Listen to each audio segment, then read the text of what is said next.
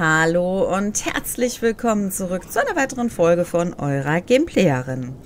Ja, wir sind immer noch in den Totenländern, beziehungsweise in Ferngrab. Und wir müssen zu den äh, Bruchgassen.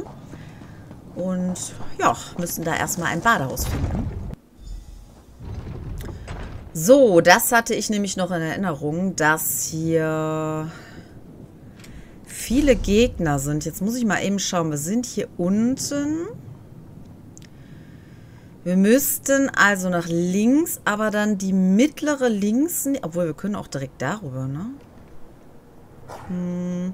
Also entweder muss ich mich links halten oder ich muss mich rechts halten. Wobei links jetzt natürlich noch ein Wegschrein gewesen wäre. Um dann nach oben zu kommen. Das Einfachste wäre wahrscheinlich rechts, weil man sich dann immer nur geradeaus sozusagen halten muss und immer nur rechts halten muss. Schauen wir mal. Wir werden auf jeden Fall versuchen, hier durchzureiten und äh, nach Möglichkeit nicht direkt abgeworfen ja. zu werden. Könnte aber schwierig sein. Nicht gerade ein Ort für lauschiges Flanieren. Nee, das stimmt. das.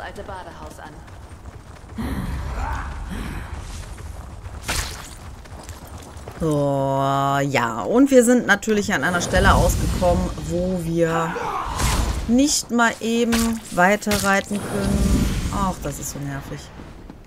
Ich glaube, ich muss auch nach unten, oder?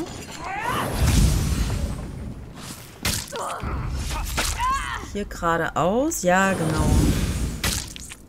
Hui. Dummerweise kommen mir jetzt natürlich wieder alle entgegen, beziehungsweise hinterher.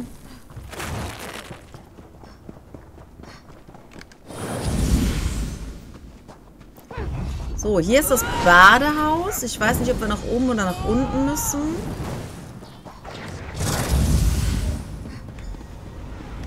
Untersucht die Badehaustür. Na, will noch jemand? Okay, sie werden ausnahmsweise mal festgehalten. Basti macht mal seinen Job. Findet einen Weg in das Innere des Badehauses. Ja, wie war das nochmal? Moment. Ähm... Hier unten sehe ich Diese gerade was Öffnung leuchten. In den Klippen. Meint ihr, wir passen dort durch? Da bin ich nicht gut. Aber ohne Scheiß, ich habe absolut nicht gewusst, wo die Öffnung war. Also beziehungsweise, das ist der Hof des Badehauses. Seht ihr diese Vertiefungen? Das waren Außenbecken. Wollen wir mal sehen, ob wir von hier aus hineinkommen? Oh, das war ein Außenbecken. Nein, lass mich mit ihr reden. Ich habe noch kein Gebäude getroffen, das nur einen einzigen Ein- und Ausgang hatte. Sehen wir uns im Innenhof um. Es muss einen anderen Weg ins Badehaus geben. Warum meint ihr, dass es noch einen anderen Weg in das Badehaus gibt? Weil es ein großes Gebäude ist. Und große Gebäude haben immer mehrere Ein- und Ausgänge. Außerdem sind wir nicht den ganzen weiten Weg hierher gekommen, um uns von einem magischen Siegel auf einer Badehaustür besiegen zu lassen. Durchsuchen wir den Hof und finden wir einen anderen Weg hinein. Ja, und vor allen Dingen ist es logisch, wenn das ein Außenbereich gewesen ist, ne, wo die äh, gewesen sind. Also wo die reingekommen sind quasi. Ah, da ist noch Diese Öffnung in den Felsen. Vielleicht können wir die Höhlen darunter erreichen und so ins Badehaus kommen. Wir sollten durch den Unterbau einen Weg hineinfinden können. Er verläuft unter dem Badehaus. Tja, aber ist wieder ein neues Siegel da. Noch ein Schutzzauber. Doch ich glaube, wir kommen an dem vorbei. Ich habe da eine Idee. Okay. Nein, nicht Bastian. Ach, Mann. Der muss sich auch immer dazwischen quetschen hier. Im Gegensatz zur Tür draußen gibt es hier alles, was wir brauchen, um die Magie zu stören, die den Schutzzauber aufrechterhält. Und ihn so zu bannen. Ich habe schon gesehen, wie Dedra solche Kristalle für die verschiedensten Dinge verwendeten. Kristalle? Wovon sprecht ihr? Ich habe inmitten der Trümmer in dieser Halle ein Luminit erspäht.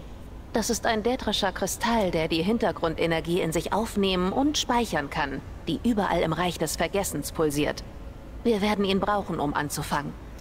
Ein Luminit finden. Verstanden. Und danach? Danach bringt ihr das Luminit zu der Dynamusquelle dort drüben. Diese Hintergrundenergie, die ich erwähnte? Die Quelle absorbiert sie. Platziert das Luminit auf der Quelle, dann wird es mit der Energie aufgeladen. Das Luminit an der Quelle aufladen. Und dann? Zu guter Letzt steckt ihr das aufgeladene Luminit in den Entladelimbus neben der Tür. Dadurch wird die Energie aus dem Kristall freigesetzt und der Schutzzauber gestört. Zumindest ist das die Idee. Ich habe die Daedra alle möglichen Dinge tun sehen, indem sie Luminite, Quellen und Limbi benutzten.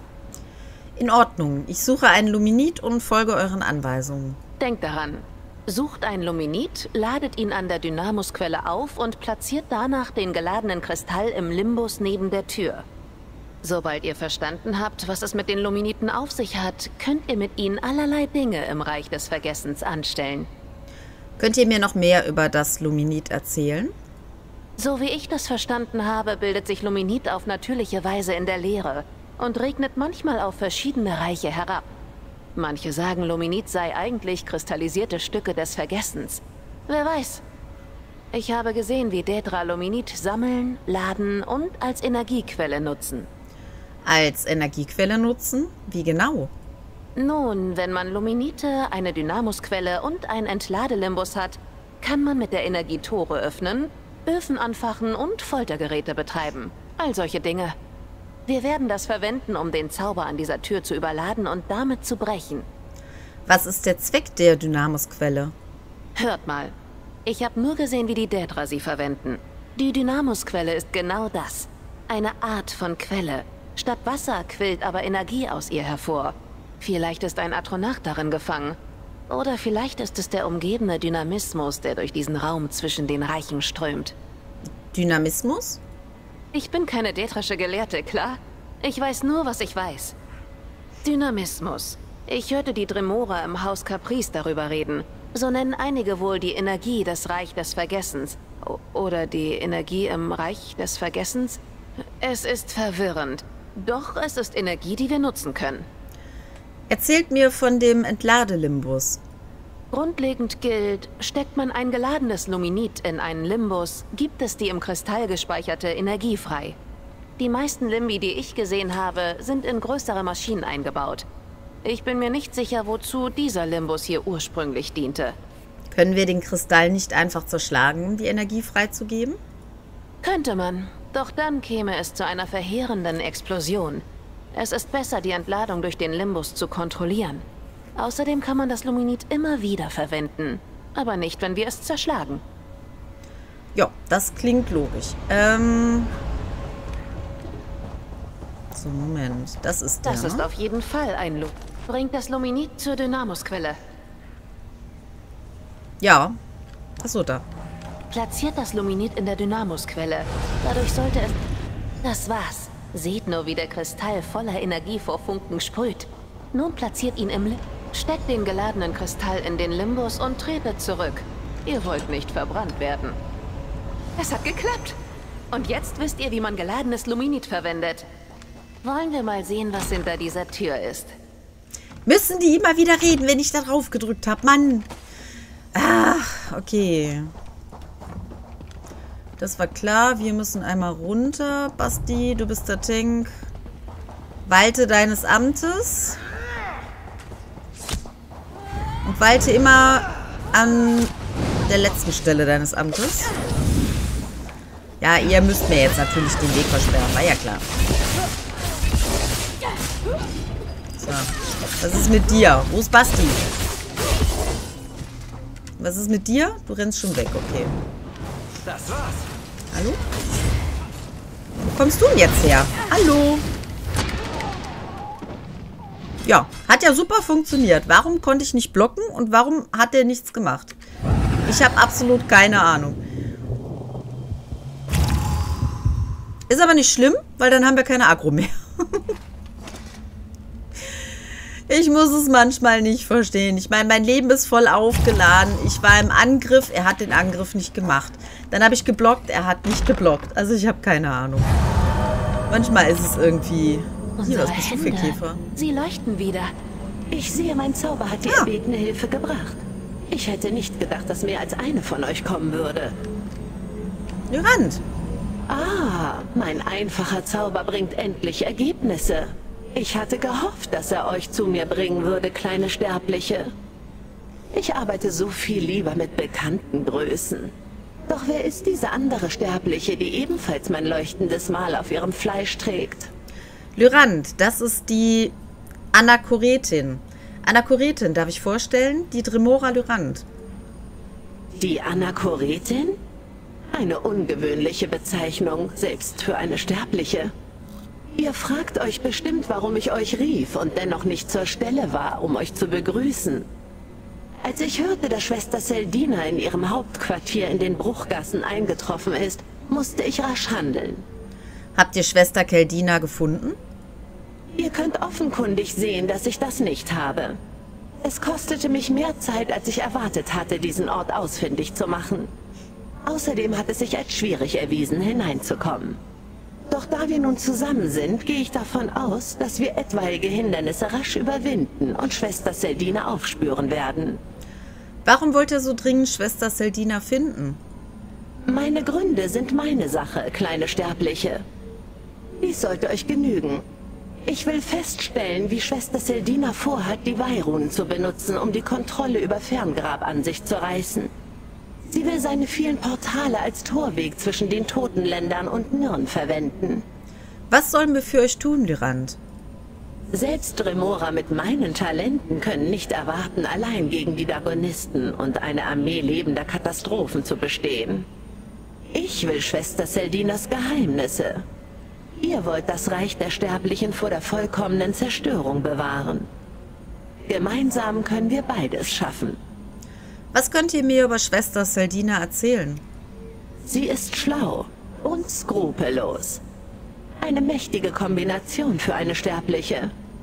Sie gebietet über die Dagonisten hier in Ferngrab und überwachte die Erschaffung des Kataklysken. Sie hat vor, mit diesem Gerät eine Armee aus lebenden Katastrophen zu erschaffen, die sie auf Nirn loslassen kann. Lebende Katastrophen? Dädra, die mit der Macht versehen wurden, große Zerstörung über das Reich der Sterblichen zu bringen und es Marunes Dagon leichter zu machen, Nirn zu erobern. Wusstet ihr, dass er das schon einmal versucht hat? Dagon brach eine Vereinbarung und die Tore zwischen den toten Ländern und Nirn wurden versiegelt. Er kann sie nicht benutzen. Welche Vereinbarung hat Merunes Dagon gebrochen? Sotasil, einer der sogenannten lebenden Götter der Dunkelelfen, schloss angeblich einen Pakt mit verschiedenen dätrischen Fürsten zum Schutz von Nirn. Ich kenne die Einzelheiten nicht, aber Dagon brach diesen Pakt. Sotasil schlug die Tore zu und versiegelte Dagons Verbindungen. Dann will Schwester Seldina Ferngrab also erobern, damit Dagon seine Portale nutzen kann? Alles über Sotasils Pakt sind nur Gerüchte und Mutmaßungen. Daher hoffe ich, genau das herauszufinden. Und ich will den Kataklysten untersuchen. Der Angriff auf Ferngrab könnte jederzeit beginnen. Sollen wir weiter vordringen und herausfinden, was Seldina vorhat? Aber Das natürlich. Leuchten ist wieder weg. Der Zauber hat seinen Zweck erfüllt. Es wird nicht wiederkehren. Nun zu diesem Schutzzauber. Kommt, in der Kammer dahinter regt sich etwas.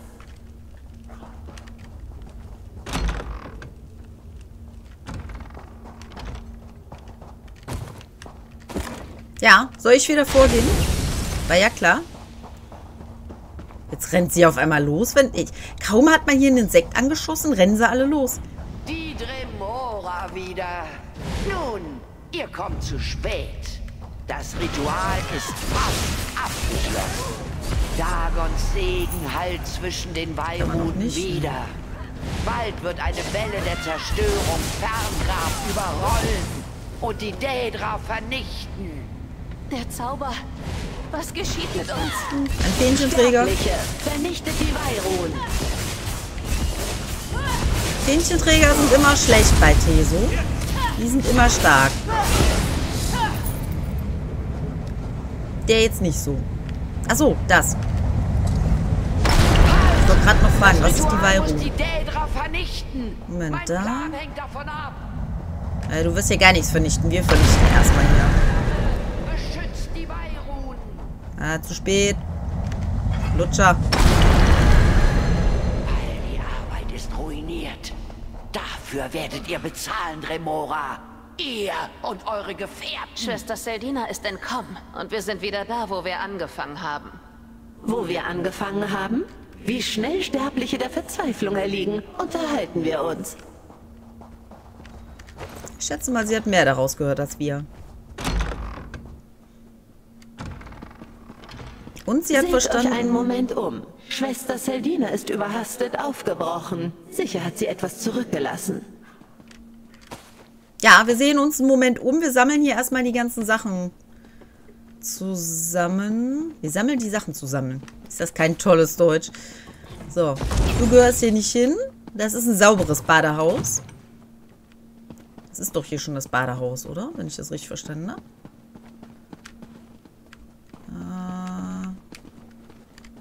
Äh, hallo, Wolfi? Geht's noch? Du kannst doch nicht einfach hier über die Sachen drüber laufen. Jetzt ist unten auf einmal eine Markierung. Wollt ihr mich jetzt hier veräppeln? Die ganze Zeit sieht man nichts und jetzt auf einmal ist unten eine Markierung. Ist aber nicht schlimm, weil dann sammeln wir halt jetzt noch eben die restlichen Sachen kurz zusammen. Was soll's? Wir brauchen ja auch noch ein paar... Uh, edle Fischbrühe nach Potatenart. Ja, da sieht man mal wieder, was man nicht so alles finden kann, wenn man sich ein wenig umschaut. So. Oder habe ich was gefunden und deswegen kann ich jetzt mit Leran sprechen? Ich weiß gar nicht, was ich gefunden habe. Ich hätte nicht gedacht, dass Schwester Seldina zu solch mächtigen Ritualen in der Lage ist. Ihr habt euch gut geschlagen, Sterbliche. Nur wenige Augenblicke länger und die Magie wäre über ganz Ferngrab hereingebrochen, sodass die Stadt schutzlos gewesen und sämtliche Dädra vernichtet worden wären. Einschließlich mir. Ich habe das Ritual aufgehalten, aber Schwester Seldina ist entkommen. Ja, aber sie floh übereilt.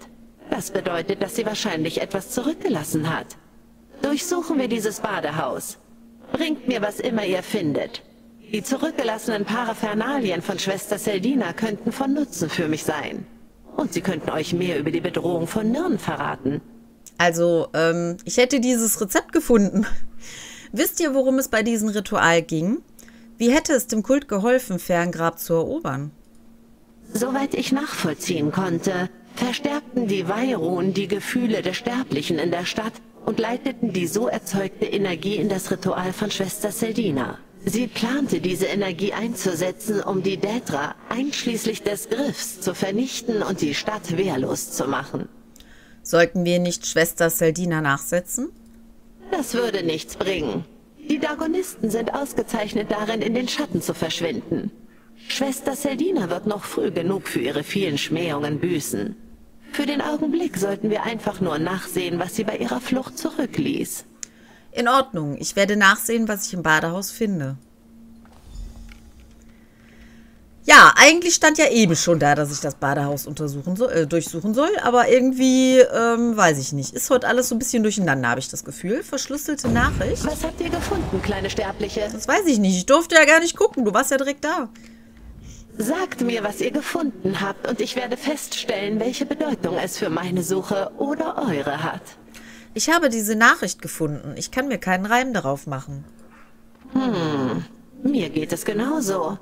Und wo eure Lesekompetenz in Frage steht, ist dies bei meiner ganz gewiss nicht so. Das ist keine Sprache, weder eine der Sterblichen noch eine der Dädra. Das hier ist in einem Code verfasst, einem, den die Dagonisten für ihre etwas geschütztere Korrespondenz verwenden. Könnt ihr das entschlüsseln? Nein.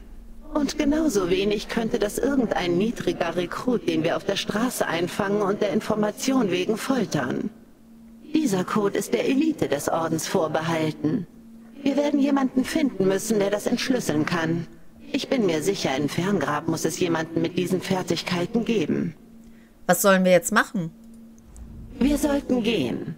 Die Streitmächte des Kults mögen zerstreut sein, doch zweifelsohne wird Schwester Seldina Truppen schicken, um sich um uns zu kümmern. Wir sollten nicht hier sein, wenn sie eintreffen. Vielleicht kann die Anachoretin einen Treffpunkt fernab neugieriger Augen vorschlagen. Kommt ihr mit uns? Was ich suche, entzieht sich mir noch immer. Daher sind unsere Angelegenheiten noch nicht abgeschlossen. Ihr solltet dankbar sein. Ich kann eine mächtige Verbündete sein, wenn ich in der richtigen Stimmung bin. Ich treffe euch in Ferngrab. Ich bin mir sicher, die Anachoretin kennt jemanden, der den Code entschlüsseln kann. Treffen wir uns im Gasthaus in Ferngrab. Das Trägersruh. Da können wir uns besprechen. Die hat einfach gelauscht. Die kommt einfach hier hoch und sagt das gleiche wie Lyrand. Wir können uns im Trägersruh treffen. Das ist das größte Gasthaus in Ferngrab. Wegen der vielen Gäste können wir uns dort unterhalten, ohne Angst haben zu müssen, belauscht zu werden. Ja, dann würde ich sagen, machen wir das auch.